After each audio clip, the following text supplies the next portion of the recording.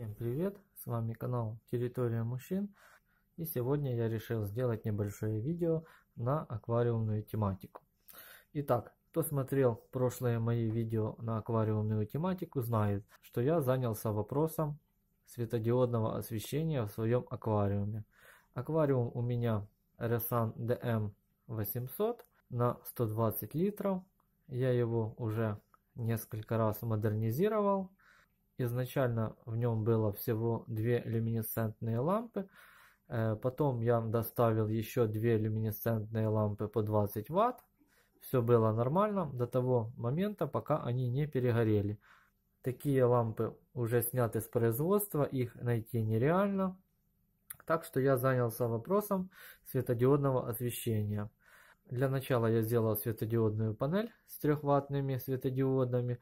Она сейчас работает, но ее катастрофически мало, так как для этого аквариума этого света крайне не хватало. Некоторые у меня растения даже пропали из-за недостатка света. Э, теперь я решил немного усовершенствовать свое освещение, а именно на место старой люминесцентной лампы добавить светодиодную панель. Выбор пал на светодиодные панели мощностью 30 Вт. Купил их на Алиэкспрессе. Панели получил я достаточно давно. На аквариуме будет установлено две таких панели. Одна уже стоит. Как вы догадались, стоит она с левой стороны. Так как слева вы видите освещение на порядок лучше, чем справа. Соответственно и растения вы видите, как растут здесь, как растут там. Это сделал я специально для того, чтобы протестировать данное освещение и убедиться в правильности его использования. Сейчас я покажу все это дело поближе, как оно выглядит. Вот, вы видите, растения пузыряют, то есть свет им нравится. Травка растет, рыбки плавают. Вот здесь может даже лучше будет видно пузырьки. Вот. В общем, растения пузыряют достаточно хорошо. А теперь покажу, собственно, мой прототип освещения. Сейчас, наверное, включу свет. О, так будет более-менее видно. Итак, вот что из себя Давайте я его выключу. Так. Итак, что из себя представляет моя конструкция? Это, как вы поняли, кулер для охлаждения. Здесь имеется вот такой большой алюминиевый радиатор. И светодиод представляет из себя вот такое чудо.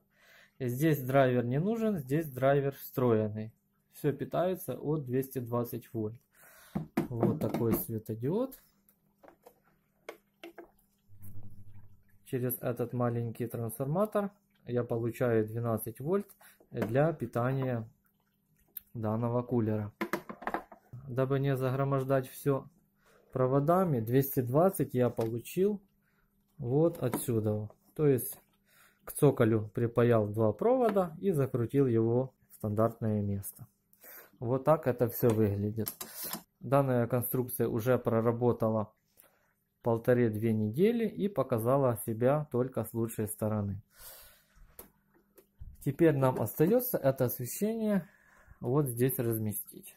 Как вы видите, здесь была вот такая небольшая светодиодная лампочка, которая в принципе мало чем помогала. Это видео будет у нас с двух частей. Первая часть, можно сказать, такая вводная. Здесь я расскажу про свои планы. А во второй части я покажу э, все те материалы, которые я использовал для освещения. Покажу, как я буду монтировать светодиод на радиатор. Все это дело мы смонтируем, подключим и сравним результат. А пока аквариум выглядит вот так вы видите. Рыбок пока мало.